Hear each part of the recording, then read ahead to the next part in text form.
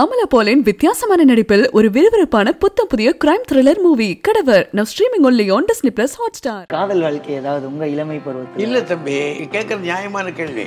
ஆனா அந்த காலத்துல வந்து தம்பி ஒரு வண்டி இருக்கணும் ஒரு தோரணை அப்போ நிற்கணும் இதெல்லாம் இல்லை இல்ல நல்ல ஆடை உடுத்தி போறதுக்கே இல்லையே. சில நேரங்கள்ல இரவு படுத்திருக்கும் போது அதையே வச்சிருப்போம். காலைல உதறிக்கிட்டு அதை கட்டி கட்டி போயிருப்போம். இது சொல்லுவதில் நான் வைக்கப்படவே இல்லை. அதனால அது எனக்கு கிடைக்கல. கொஞ்சம் வருத்தம் தான் நிறைய இடங்கள்ல வந்து தம்பி கூட்டங்களை முடிச்சுட்டு வெளியே வரும்போது பெண்கள் அழுது இருக்காங்க நின்று கையை பிடிச்சது கெஞ்சி அழுத ஆட்கள் இருக்காங்க. கடிதங்கள் போட்டிருக்காங்க. இது தவறு பண்ணிட்டோம். வாழ்க்கையில் ரொம்ப மோசமான வாழ்க்கை நடந்து வாழ்ந்துட்டேன் என் மனைவியை நான் ரொம்ப துன்புறுத்தியிருக்கேன். குடும்பங்களை பற்றி பேசுகிறோம் பாருங்களா? அப்போ வந்து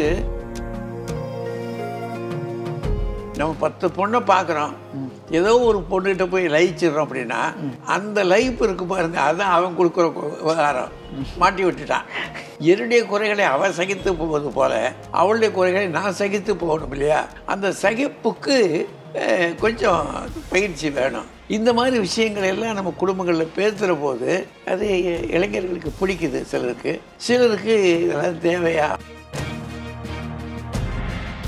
இப்ப சமீபத்துல நீங்க பார்த்து ரசிச்ச ஏதாவது ஒரு படம் உங்களுக்கு பிடிச்ச படம் ஆ இப்போ இந்த சூரரை போற்றுவோம்.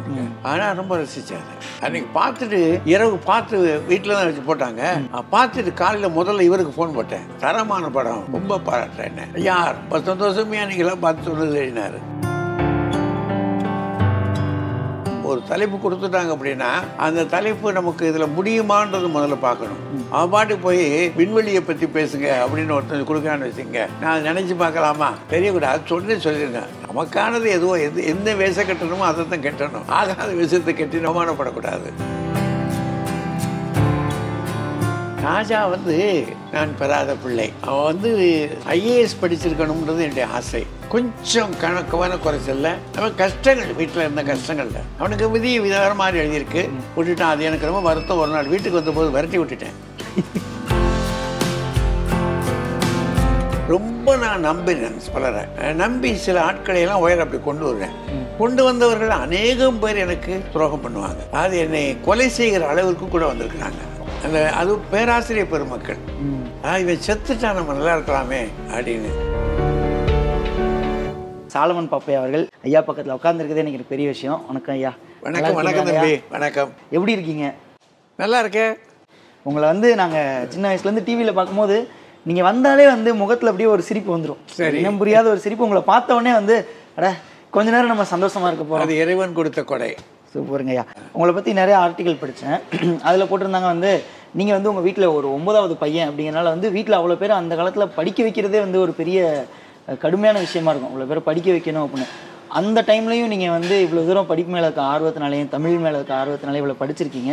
இதுக்கு உங்களுக்கு உறுதுணையாகவும் சப்போர்ட்டாகவும் இருந்தது யாருங்கய்யா? இதுக்கு வந்து தம்பி என்னுடைய எனக்கு ஒன்றும் முயற்சி அதில் இல்லை. ஏதோ ஒரு என்னுடைய தனிப்பட்ட நம்பிக்கை. நான் யார் மேலும் அதை திணிக்க விரும்பலை. தனிப்பட்ட நம்பிக்கையில் ஏதோ ஒரு இரையாற்றல். அது என்னை சுற்றி இழுத்துக்கிட்டே சுற்றி போய் நான் கீழே விழுகிற போது அது என்னை தூக்கி இருக்கு. நான் தவறான தடங்களுக்குள்ளே போகிற போது என்னை கையை பிடிச்சி இழுத்து இன்னொருக்கு கொண்டு போயிருக்கு. அது அதனுடைய வழிகாட்டலில் தான் நான் மெல்ல மெல்ல வந்திருக்கிறேன். மற்றபடி என்ன வீட்டு நிதிநிலை ஒன்றும் இல்லை. பண வசதி இல்லை. உறவுகள்லேருந்து உதவுகிறவரும் ஒருவரும் இல்லை. நண்பர்கள் எனக்கு உதவி பண்ணாங்க. அப்போ நண்பர்கள்னால் எங்கேயோ இருந்து வந்த நண்பர்கள். அவங்க எங்கள் தெருவில் பழகிற நண்பர்கள் இல்லை என்னுடைய வகுப்பறையில் இருந்த நண்பர்கள். அவங்க ஏதோ என்னுடைய என்னுடைய குணத்தையோ அல்லது நான் படிக்கிற முறையையோ நான் பழகுகிற முறைகளை வைத்தோ ஏதோ ஒன்று அவங்களே ஏதோ ஒரு சக்தி தூண்டி விட்டுருக்கு. அதனால் அப்படித்தான் நான் ரொம்ப மேலே வந்தேன். உங்களோட இளமை பருவத்தில் ஸ்கூல் காலேஜ்லாம் படிக்கும்போது நீங்கள் ரொம்ப சேட்டை பண்ணுற ஒரு பையனா? எப்படி இருந்தீங்க நீங்கள் அது சேட்டைன்றது வீட்டுக்குள்ளே இருப்பேன். நண்பர்கள்ட்ட சேட்டை பண்ண மாட்டேன். அதனால தான் நண்பர்களுக்கு பிடிச்சது. ஆனால் கொஞ்சம் அவங்களுக்கு அவங்களுக்கு பிடித்தமான காரியங்கள் எல்லாம் செய்வேன். இந்த நல்லா எழுதுறது நல்லா படம் வரைகிறது பாட்டு பாடுறது அப்புறம் மேடைகளில் பேசுறது பாடத்தில் முதல் மதிப்பெண் வாங்குறது அதெல்லாம் அவங்களுக்கு பிடிக்கும். நாடகத்துக்கு போனால் நடிக்கிறது. கதை சொல்கிறது நல்ல கதை சொல்கிறது நிறைய படம் பார்த்துட்டு வந்தேன்னா அப்படியே அந்த வசனங்களை ஒப்பிப்பேன். அதெல்லாம் அவங்களுக்கு பிடிக்கும். ஓகேங்கய்யா. எல்லாருக்குமே பார்த்தீங்கன்னா அந்த சின்ன வயசுல நான் வந்து டாக்டர் ஆகணும் இன்ஜினியர் ஆகணும் அப்படின்னு ஒரு ஆசை இருந்திருக்கும். உங்களுக்கு அந்த மாதிரி சின்ன வயசு ஆசை இல்லை தம்பி. ஏன்னா அதுக்கான வசதியே இல்லை தம்பி. அது இது ஒரு கனவு காண்றது. ஒரு நல்ல குடும்பங்களில் முன்னேறுகிறவர்களை பார்த்து வளர்ந்துருந்தோம்னா நமக்கு அந்த மாதிரி நாம் இப்படி வரணும். நினைக்கலாம் இங்கே இல்லை எங்கள் தகப்பனார் ஒரு மில் ஒர்க்கர் சாதாரண மில் வேலை வேலை பார்க்குறவர். எங்கள் அம்மா மில் வேலை பார்த்துட்டு வீட்டில் வந்து நோய்வாய்ப்பட்ட ஒரு தாய். அண்ணன் அண்ணன்கமாரெல்லாம் போயிட்டாங்க. அக்காமாரும் கட்டி கொடுத்தாச்சு எல்லாரும். அப்புறம் நம்ம என்ன செய்ய? அதனால் அந்த மாதிரி கனவுகள் கிடையாது. அதனால தான் நான் என்ன சொன்னால் அலைகள் நகர்த்தின கப்பல் போல் என்னுடைய வாழ்க்கையை ஏதோ ஒரு அலை நகர்த்தி கொண்டு வந்து கரத்தில் சேர்த்துச்சு. அது இந்த உயரத்துக்கு வந்திருக்கு. அப்புறம் எப்படிங்க இதுல தமிழ் மேல ஒரு பற்று? இது அது எனக்கு? இயல்பில் இருந்தது. அது அதோட ஒரு ஆரம்ப புள்ளி அந்த தீ ஆரம்ப புள்ளி இது எங்கள் தகப்பனாருக்கு அதில் ஈடுபாடு இருந்திருக்கு. அவங்க வந்து அந்த காலத்தில் நல்லா பாடுவாங்க. நலவெண்பாலாம் அவங்க பாடுவாங்க. ராமாயண ஏடுகள் இது பாரத ஏடுகள் வெண்பா ஏடுகள் இருந்துச்சு எங்கள் வீட்டில் அது ஏடு பெரிய ஏடு. எழுதி வச்சுருந்தாங்க.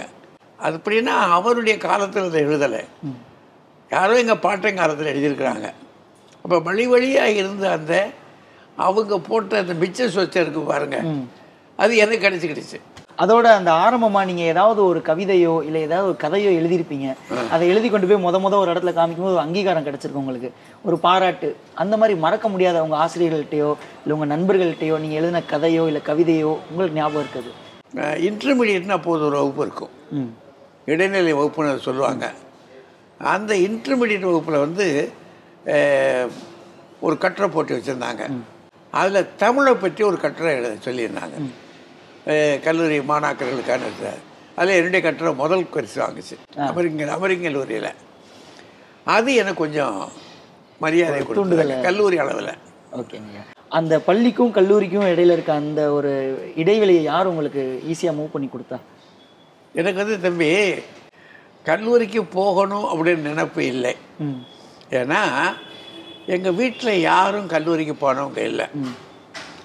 எங்கள் எஸ்எஸ்எல்சி பாஸ் பண்ணதே நான் தான் எங்கள் வீட்டில் முதல்ல. மற்றபடி எங்கள் வீட்டில் ஒருத்தரும் இல்லை அண்ணமாரு. அப்போ கல்லூரிக்கு எங்கள் அப்பா என்ன எதிர்பார்த்தாருன்னா மெஜினா கோர்ஸில் வந்து ஒரு வேலை வாங்கி தந்துடுறேன் கிளார்க் போஸ்ட்டு அது அவருடைய கனவு. என்ன வாங்கி கொடுத்துட்டா மகன் வேலை வைப்பான் நம்ம குடும்பம் கொஞ்சம் நல்லா இருக்கும்னு.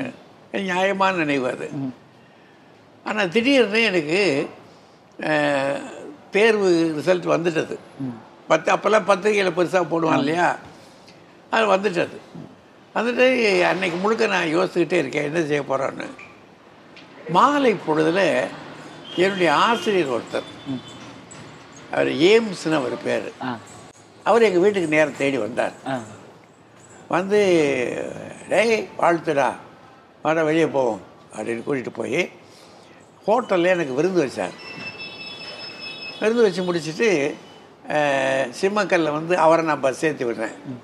அப்போ அவர் என்ற நாளைக்கு காலையில் அமெரிக்கன் காலேஜ் வாசலில் நீங்கள் வந்து செல்லு நான் அங்கே வருவேன் அது எதுக்கு சொல்கிறாரு என்ன வர எனக்கு தெரியாது. சரி சார் வந்துடுறேன் சார் அப்படின்னு. மறுநாள் காலையில் எங்கள் வீட்டுக்கும் அதுக்கும் அமெரிக்கன் காலேஜுக்கும் மூணு கிலோமீட்டர் நான் பெரும்பாலும் நடந்து தான் போவேன் ஏசிய ஸ்கூலில் அதையும் கடந்து போகணும். நடந்து அங்கே போய் நின்றுக்கிட்டு இருந்தேன் வாசலில். இவர் வந்தார். அந்த கல்லூரிக்குள்ளே என்னை கூட்டிகிட்டு போகிறாரு கூட்டிட்டு போய் அந்த பிரின்ஸிபல் ரூமுக்கு பக்கத்தில் அப்ளிகேஷன் ஃபார்ம் கொடுக்குறாங்க. அவர் அப்ளிகேஷன் ஃபார்ம் வாங்கினார். எதுக்குன்னு எனக்கு தெரியாது. வாங்கி டேய் என் பேரை அவர் ஃபில்அப் பண்ணார். எனக்கு என்ன சொல்லனே தெரியல. அவர் எல்லாம் எல்லாம் பண்ணிவிட்டு நீ வந்து அப்போது அப்போ ஒரு புக் ஒரு குரூப் இருந்தது. ஏன்ஷியன் ஹிஸ்ட்ரி இந்தியன் ஹிஸ்ட்ரி லாஜிக்னு பழங்கால வரலாறு அப்புறம் இந்திய வரலாறு அப்புறம் சட் இந்த சட்டம் நுணுக்கம் படிக்கிறதுக்கான லாஜிக்குன்னு சொல்கிறது அந்த பாடத்தை எழுதினார். இதை நீ படிக்கணும். உன்னுடைய அறிவுக்கு இது ரொம்ப முக்கியமாக இருக்கும். அதனால் இதை ஃபில்லப் பண்ணுறேன்னு ரெண்டு ரூபா அது கட்டணம். அந்த அப்போ பட்டணத்துக்கு அந்த ஃபார்முக்கு எல்லாம் ஃபில்லப் பண்ணி கொடுத்துட்டு உனக்கு வந்துடும்டா நீ கல்லூரியில் சேர்ந்துரு அப்படின்னாரு. அவரை அனுப்பிச்சி வச்சுட்டு நான் நம்பவும் முடியல. யோசிச்சு பாருங்க. என்ன செய்ய போகிறோம் இது எப்படி நடக்கும்? அப்படின்னு வீட்டுக்கு வந்தேன். வீட்டுக்கு வந்து எங்கள் ஐயாட்ட சொன்னேன் மெல்ல. இது எங்கள் வாத்தியார் இப்படி கட்டிருக்காருன்னு. அவர் உடனே படிக்க பறைக்க போகிறாரா அப்படின்னாரு. அது எப்படியா படிக்க வைப்பார்? இதுவே அவர் வாங்கி கட்டியிருக்காருன்னு அப்போ என்கிட்ட பணம் இல்லை. நான் ஒன்றும் உதவி செய்ய முடியாது. பார்த்துக்கிடும் அப்படின்ட்டார். எங்கள் அம்மாவுக்கும் ஒன்றும் தெரியல. அது அப்போ இருக்காங்க ஒன்றும் தெரியல அப்புறம் பணம் கட்டுறதுக்கு வகை பணம் கட்டுன்னு சொல்லி ஆர்டர் வந்துருச்சு. வந்துட்டா வச்சுக்கிட்டு இருக்க இருக்கேன். இன்னைக்கு கட்டி ஆகணும். எவ்வளோ எவ்வளோ ரூபாயா கட்டணும் அது ஒரு அறுபத்தொம்பது ரூபாயோ நூறுரூவாய்க்குள்ளே தான் அது. அறுபத்தொம்பது ரூபாய் எழுபது ரூபாய்க்குள்ள நினைக்கிறேன். கேட்டேன்னா அந்த காலத்தில் அந்த ரூபா பெரிய தொகை. இப்போ எப்படியே மலைச்சிக்கிட்டு உட்காந்துருந்தேன் அப்போது என்னுடைய தூரத்து சொந்தத்தில் ஒரு அண்ணி அவங்க எங்கள் வீட்டுக்கு வந்து எங்கள் அம்மாவை பார்த்து குழந்தை படிக்கணும் அவர் நல்லா படிப்பார் அப்படின்னு அவங்களுடைய நகையை கழட்டி எங்கள் அம்மாட்ட கொடுத்து இதை வச்சு அவரை படிக்க வைக்க எப்போ சந்தர்ப்பம் வருதோ அதை திருப்பி கொடுங்க நான். என்ன செய்வது இதை? அப்போது நானும் இன்னொருத்தர் போய் கடையில் போய் அடகு வச்சுட்டு அந்த பணத்தை வாங்கிக்கிட்டு நேர போய் அமெரிக்கன் காலேஜில் கட்டுறோம். அப்புறம் திரும்ப ஒரு காலத்தில் திருப்பி கொடுத்துட்டோம்ல இதுதான் நான் கல்லூரியில் சேர்ந்த வரலாறு. கண்டிப்பாங்க ஐயா. இப்போ கஷ்டத்தை அனுபவிச்சவங்களுக்கு தான் தெரியும் இன்னொருத்தவங்க கஷ்டப்படும் போது உதவி பண்ணணும் அப்படின்னு சொல்லி சொல்லுவாங்க.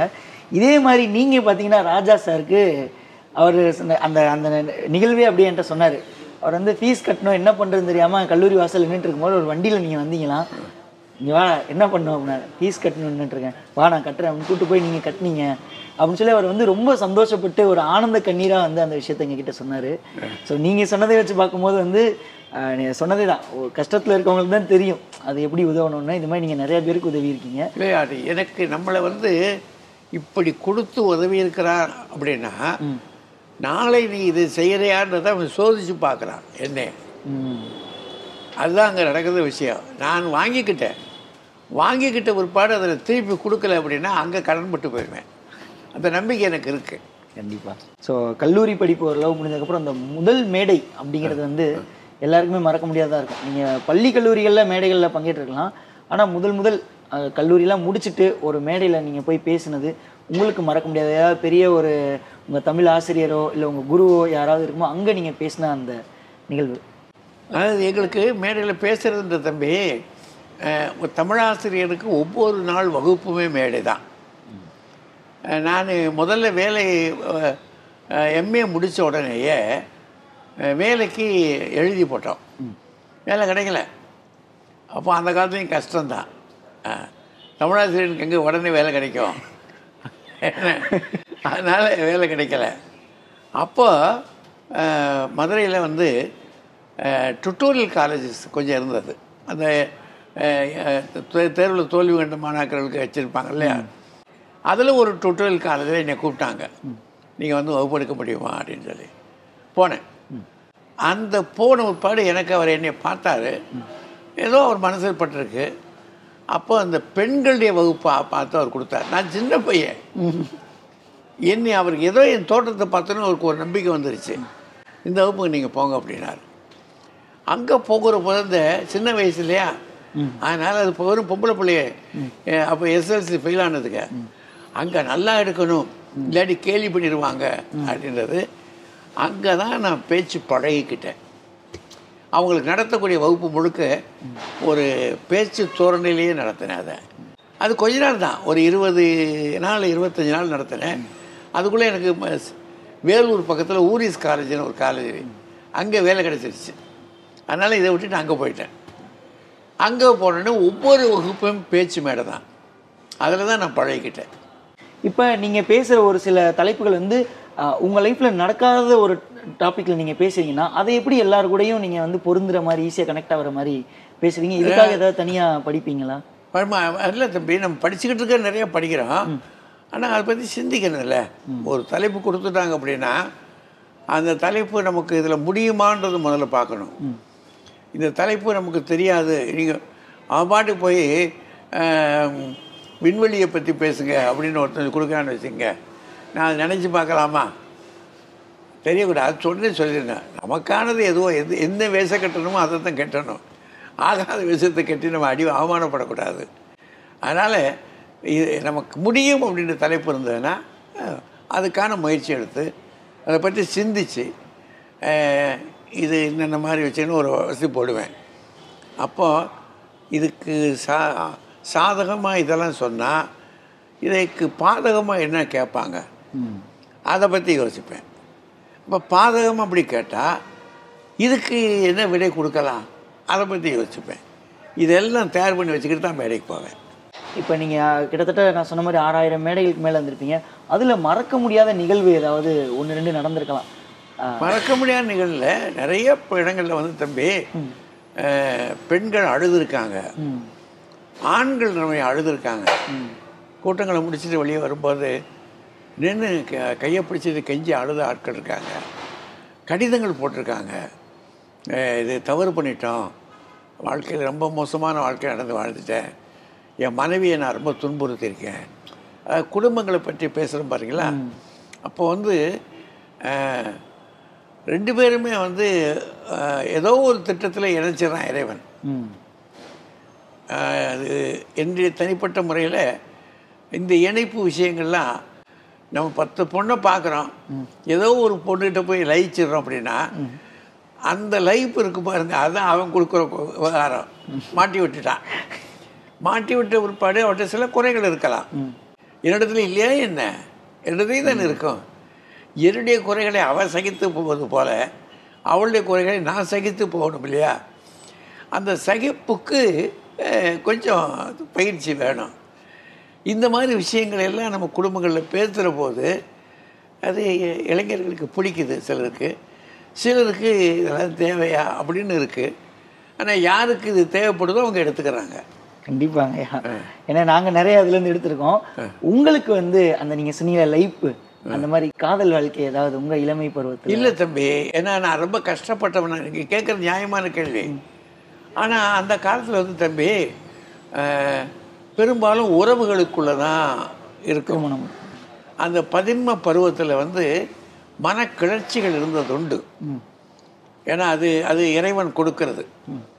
அது இல்லைன்னா ஒரு ஆண்மை வராது. அந்த கிளர்ச்சிகள் இருந்ததுண்டு. ஆனால் அதற்கான முகக்கவர்ச்சியை அவன் இறைவன் நம்மகிட்ட கொடுக்கல. அப்போ கூச்சிருந்தா தானே அது நம்மளை விரும்பும். இப்போ நமக்கு இருக்கு ஆசை இருந்திருக்கலாம். ஆனால் அங்கே அந்த ஆசை வரணும்ல. ஏன்னா நமக்கு அதுக்கான ஒரு பணபலமோ அல்லது நல்ல நல்ல ஆடை நல்ல ஆடை உடுத்தி போகிறதுக்கே இல்லையே. ஒரு சாதாரண அழுக்கு சட்டை இதெல்லாம் ஒரு வாரத்துக்கு போடுவோம் சட்டை அந்த காலத்தில். இப்போ இப்போ நம்ம தினசரி ஒன்று மாத்திரம் இல்லையா? ஆனால் அந்த காலத்தில் ஒரு இந்த ஞாயிற்றுக்கிழமை போட்டாச்சுன்னா அடுத்த ஞாயிற்றுக்கிழமை வரைக்கும் அதான் சட்டை. சில நேரங்களில் இரவு படுத்திருக்கும் போது அதையே வச்சுருப்போம் காலையில் உதறிக்கிட்டு அதை கட்டி கட்டி போயிருப்போம் அதே வாழ்க்கை இருந்துச்சு. அப்போ அப்படி தான் இருந்தது. நான் கஷ்டப்பட்டேன் ஐயா அப்படி அதை சொல்லுவதில் நான் வெக்கப்படவே இல்லை. ஏன்னா அதை சொல்லாமல் விட்டுட்டான் தான் நான் கணக்கு கொடுக்கணும். கண்டிப்பா. அவன் அதுதான் உண்மை. அப்படி தான் இருந்தோம். அப்போ அந்த சமயத்தில் எப்படி நம்மளை நேசிப்பாங்க? அதுக்கு ஒரு வண்டி இருக்கணும் ஒரு தோரணையாக அப்போ நிற்கணும் இதெல்லாம் இல்லை இல்லை அதனால் அது எனக்கு கிடைக்கல. கொஞ்சம் வருத்தம் தான் சரிங்க. சினிமா வந்து உங்க வாழ்க்கையில இன்னொரு முக்கியமான விஷயம் அப்படின்னு சொல்லலாம். ஏன்னா நீங்க சினிமா படங்கள் நடிக்க ஆரம்பிச்சதுக்கு அப்புறம் பாத்தீங்கன்னா எல்லாருமே ரொம்ப வட்டிமன்றங்களை தாண்டி வந்து உங்களோட சீன் மட்டும் வரும்போது அதை தனியா எடுத்து பார்க்கறதா இருக்கட்டும் அதை பார்த்து சிரிக்கிறதா இருக்கட்டும் இதெல்லாம் இருக்கட்டும். சினிமா உங்க வாழ்க்கையில ஸ்டார்டிங்ல இருந்து எப்படிங்க பயணம் பண்ணிட்டு வருது? சினிமா திரைப்படம் என்னை வளர்த்தது தம்பி. அந்த காலத்தில் அறிஞர் அண்ணா எழுதின வேலைக்காரி இருப்பாருங்க. அந்த பட வசனங்களை முழுக்க அப்படியே ஒப்பிப்பேன். அது மாதிரி ப வகுப்பறைகளில் போய் அந்த கதையை சொல்லுவேன். இப்படி நிறையா ஆனால் திரைப்படம் வந்து எனக்கு ரொம்ப பிடிக்கும். சின்ன வயதுலேருந்து ஏன்னா ஒன்று நமக்கு வீட்டில் வந்து படிக்கிறதுக்கு தம்பி கல்லூரி பள்ளிக்கூடத்து புத்தகங்களை தவிர்த்துட்டோம்னா அந்த காலத்தில் இந்த வார இதழ்கள் தான் வரும். அதை வாங்குவதற்கு வீட்டில் சக்தி இல்லை. யார் வாங்கி கொடுப்பா? அப்புறம் எங்காவது போய் தேடணும். அப்போ நூலகங்கள்லாம் அது கிடையாது. இப்போ அது கிடைக்கல. கல்லூரி பள்ளிக்கூடங்களில் வந்து புத்தகங்கள் எதாவது எடுக்கலாம்னா கிடைக்காது. அது எங்கேயாவது போகிற வீடுகளில் கிடந்து ஏதாவது புத்தகத்து கிடச்சுன்னா அவங்ககிட்ட கேட்டு கெஞ்சிக்க அங்கனே உட்காந்து அவங்க சொல்லுவாங்க அங்கேயே உட்காந்து படிச்சுட்டு போடா அப்படின்னு. அந்த மாதிரி படிப்போம். அப்புறம் அதுக்கு பேரை தவிர டிவி இல்லை அந்த காலத்தில் இல்லை. வானொலி இருந்தது வந்தது வீட்டில் வாங்க முடியாது. வேறு எங்களுக்கு இப்போ பொழுது எப்படி? பொழுது எப்படி போக்குறது? அதனால் என்ன செய்யணும்னா அந்த சின்ன பிள்ளைகளோட போய் எல்லாரும் விளையாடுவாங்க. நான் பம்பரம் குத்து குத்துவாங்க. எனக்கு பம்பரம் வாங்க காசு இல்லையே. அதனால் அவங்க குத்தும்போது நான் நின்று பார்த்துக்கிட்டே இருப்பேன். அவங்க என்ன இப்படி பண்ணுறான்னு அவங்க தான் சுற்றி டேய் இப்படி குத்துறானுவான் இன்னைக்கு வரைக்கும் எனக்கு போட்டு குத்தி எடுக்க தெரியாது. அந்த சிங்கனமுங்கன ரங்கரோஸ் சொல்ல தெரியும். எடுக்க தெரியாது. அப்புறம் இந்த பேந்தா விளையாடுவாங்க. ஆ அதுக்கு குண்டு வேணும். காசு? இல்லை இல்லை அதனால் படிக்கிறதுக்கு பொழுதுபோக்குறதுக்கு வசதி இல்லை. இப்போ எப்போது கிடைச்சா சினிமான்னு வந்துச்சுன்னா அப்போது சினிமாவுக்கு வந்து ரெண்டனா ரெண்டரைனா டிக்கெட்டு. அதுக்கு பெரும்பாலும் இந்த அதான் கடைசி டிக்கெட்டு. ரெண்டரைனா அது. அதுக்கு யாராவது கூட்டிகிட்டு போனாங்கன்னா உட்காந்து பார்ப்போம். அதில் எனக்கு என்ன லட்சுமணன் ஒரு நண்பன் இருந்தான். அவனுக்கு என் பேரில் என்னமோ ஒரு பிரியம். அவனுக்கு சினிமா பார்க்கணும். சினிமா பார்க்கறதுக்கு ஒரு தோழமை கூட வேணும்ல. கண்டிப்பா. அதனால் அவன் சொல்லிடுவான் டேய் இன்னைக்கு சினிமா போகிறோம்டா அப்படின்றான். அவன் கூட்டிகிட்டு போயிருக்கான். இன்னொரு தம்பி அவனு எங்கள் கிளாஸ்மேட்டு அந்த தம்பி கூட்டிகிட்டு போவார். அப்புறம் வந்து வாசுதேவன் ஒன்று அப்புறம் தியாகராஜன் நாலு பேர் மாற்றி மாற்றி கூட்டிட்டு போவாங்க. விடாதபடி சினிமாவை கூட்டு போய் ஓசியில் தான் நான் படம் பார்த்துருக்கேன்.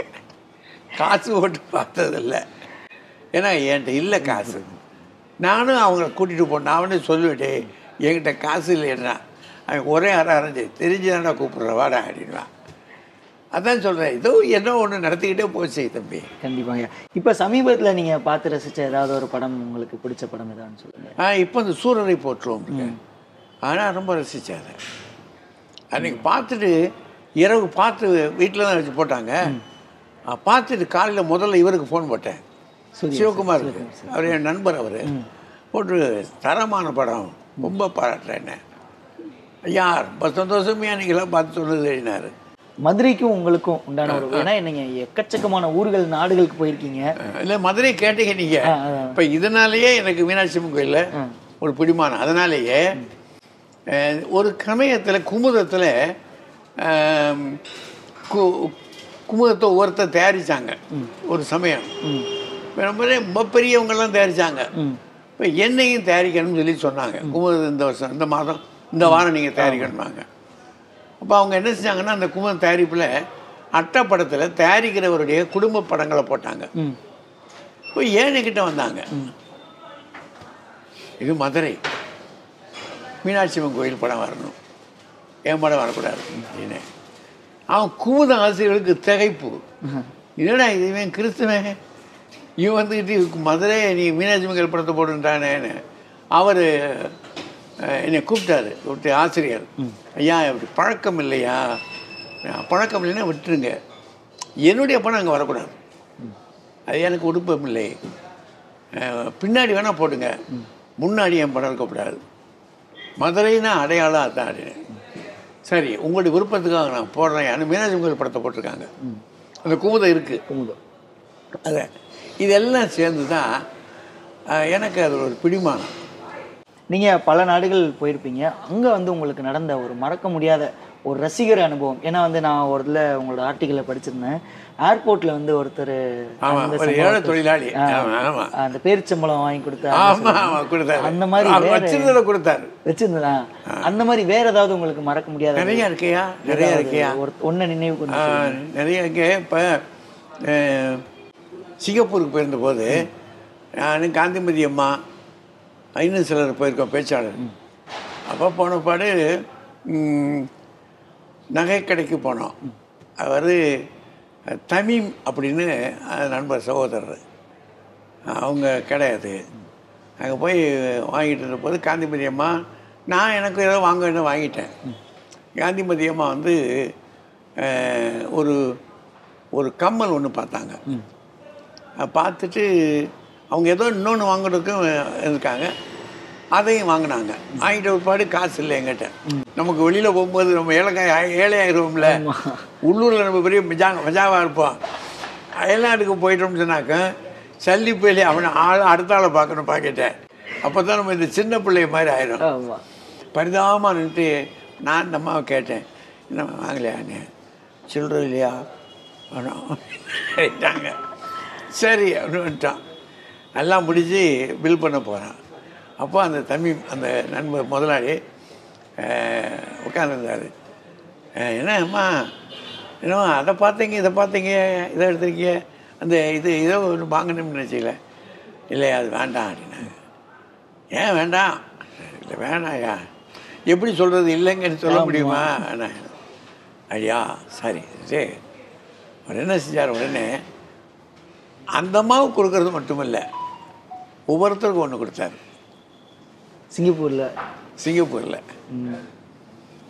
அதுக்கு பிற்பாடு அவர் எங்களுடைய நண்பர் ஆயிட்டார். ம்.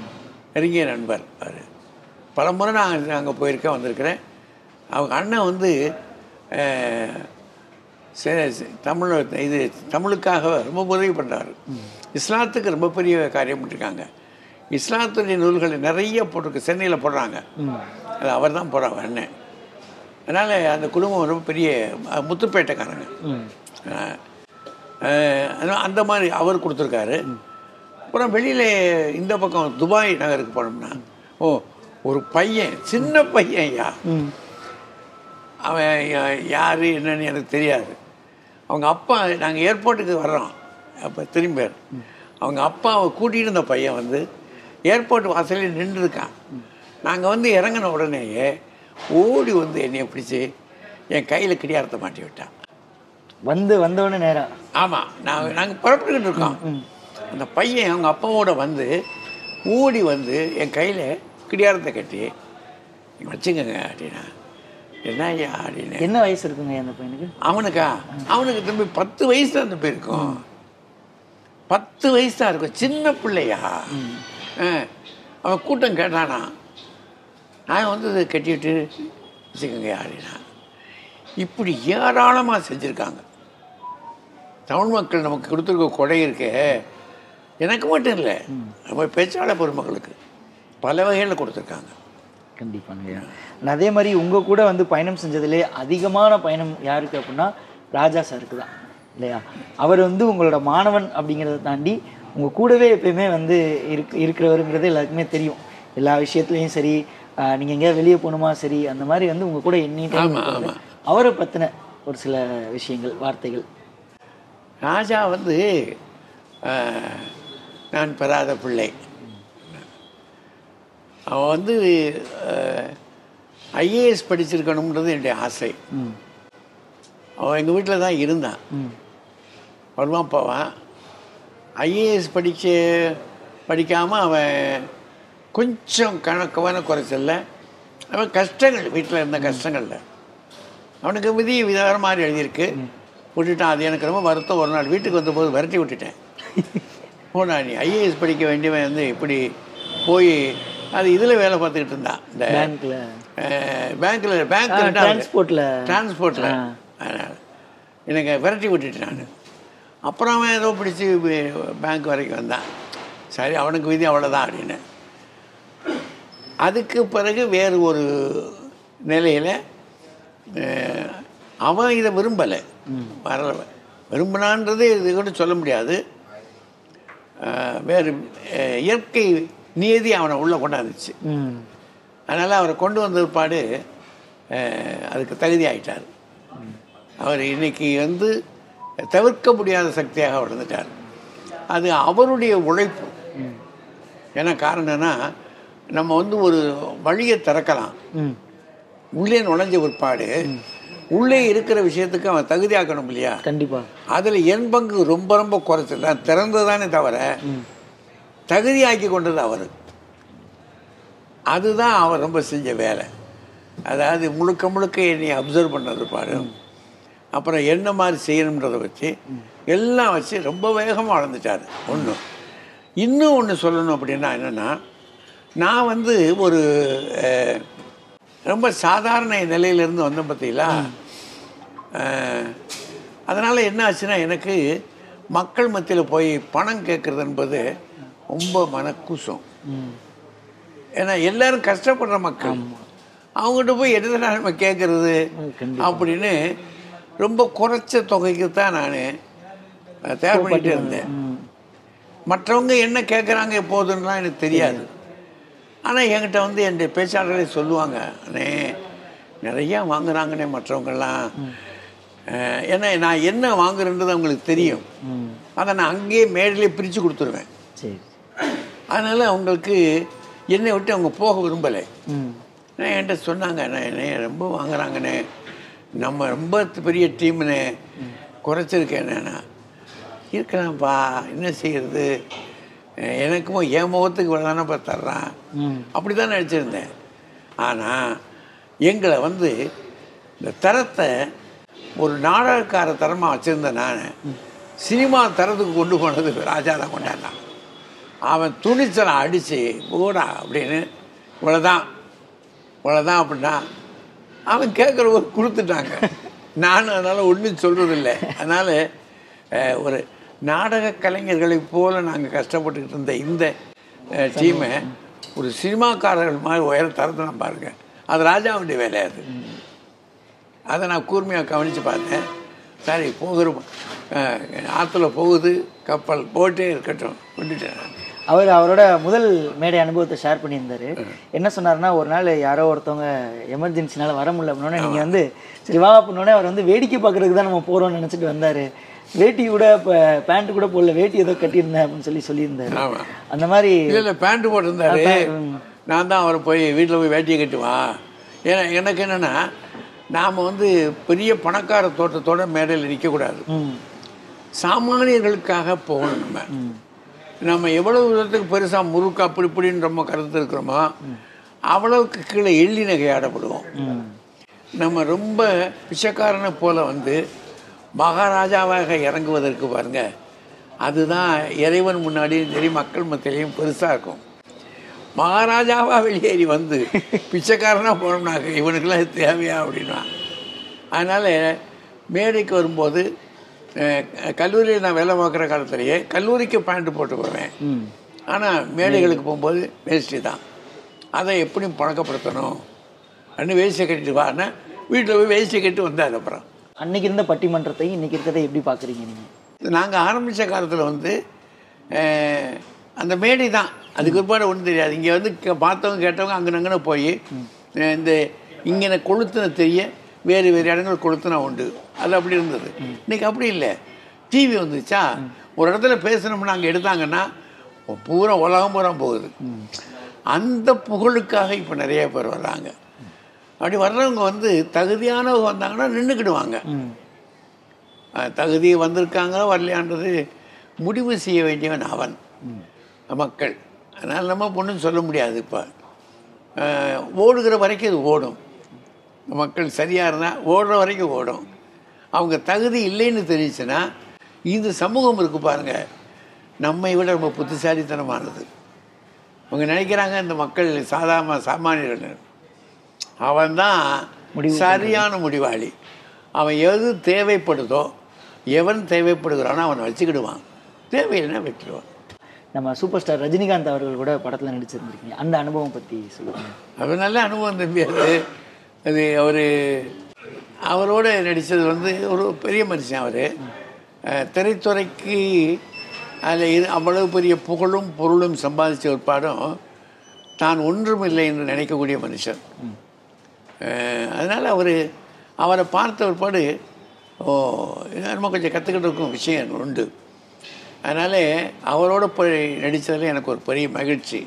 ஓகேங்க கடைசி இரண்டு கேள்விங்கய்யா ஒன்று வந்து இந்த பொறுமையை கையாளுறது. ஏன்னா உங்ககிட்ட வந்து அதை ரொம்ப கற்றுக்கலாம் எல்லா நேரத்துலையும் வந்து சிரிச்ச முகத்தோட இருக்குங்க இல்லையா? இது எப்படி கையாளணும்? And உங்களோட இன்னும் இதை பண்ணணும் அப்படிங்கிற ஒரு ஆசை. இந்த ரெண்டு கேள்விகள் தாங்க. இது எனக்கு இன்னும் ரெண்டு மூணு புத்தகங்கள் எழுதணும்னு ஆசை இருக்குது அது அது பற்றி தான் நான் வேலை பார்த்துக்கிட்டே இருக்கேன்.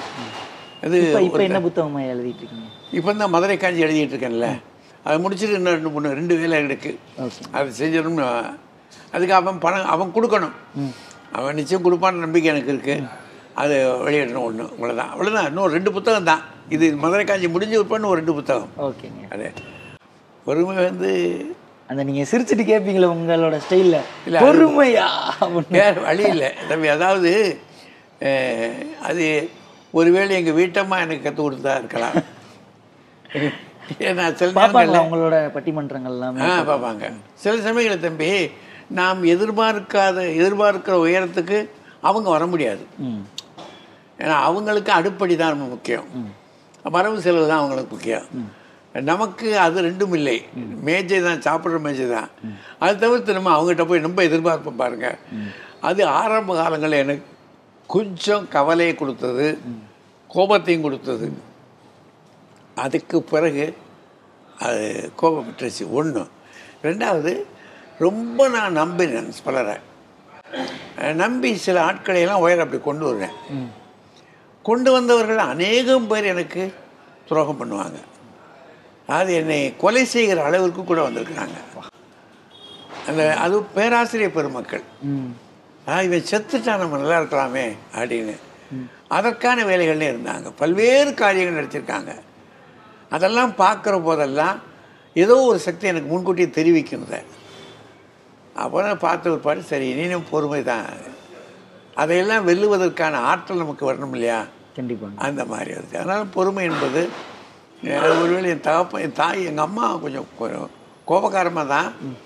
ஆனாலும் சில விஷயங்கள் பொறுமையாக இருப்பாங்க. தாய் வழியில் வந்ததாக இருக்கும் என் தகப்பன் வழி வந்ததாக இருக்கலாம். நன்றிங்க. இவ்வளவு நேரம் நான் கேட்ட. கேள்விகள் ஏதோ என்னோட அறிவு கட்டிய கேள்விகள்லாம் கேட்டிருக்கேன். அதுக்கு எல்லாத்துக்குமே ரொம்ப சிரிச்ச முகத்தோட எங்க எல்லாருக்குமே வந்து ரொம்ப வாழ்க்கைக்கு பயனுள்ள நிறைய இந்த பொழுது உங்களுக்கு பிரியமான பொழுதாக இருந்திருக்குமானால் கண்டிப்பா அதுக்கு நான் இறைவனுக்கு நன்றி சொல்லிக்கிறேன். கண்டிப்பாங்க. வாழ்த்துக்கள் நன்றி வணக்கம் பெண்களுக்கான பிரத்யேக தளம் அவல் கிளிட்ஸ் ஃபேஸ்புக் பேஜை லைக் பண்ணுங்க ஃபாலோ பண்ணுங்க. அவல் கிளிட் சேனலை எல்லாரும் லைக் பண்ணுங்க ஷேர் பண்ணுங்க சப்ஸ்கிரைப் பண்ணுங்க. அமலா போலின் வித்தியாசமான நடிப்பில் ஒரு விறுவிறுப்பான புத்தம் புதிய crime thriller movie Kadaver now streaming only on Disney plus Hotstar